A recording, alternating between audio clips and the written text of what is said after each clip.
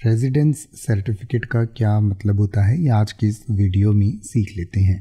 Residence certificate का मतलब होता है निवास प्रमाण पत्र यानी कि ये एक ऐसा ऑफिशियल डॉक्यूमेंट होता है जो सरकार के द्वारा किसी व्यक्ति को इस बात के सबूत के तौर पर दिया जाता है कि वो वहाँ का रहने वाला है। यानी कि उसका जो एड्रेस प्रूफ आप एक तरीके से समझ सकते हैं।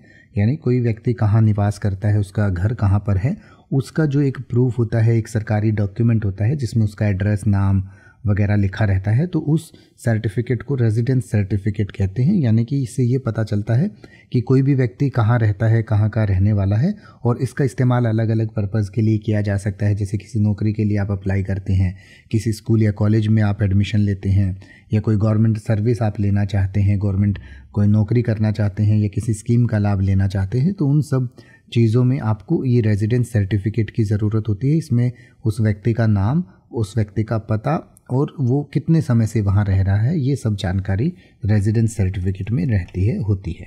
तो इसके बारे में और डिटेल से पढ़ना चाहें तो आपकी स्क्रीन और वीडियो के डिस्क्रिप्शन में दिया गया आप पढ़ सकते हैं और उसको और बेहतर तरीके से समझ सकते हैं।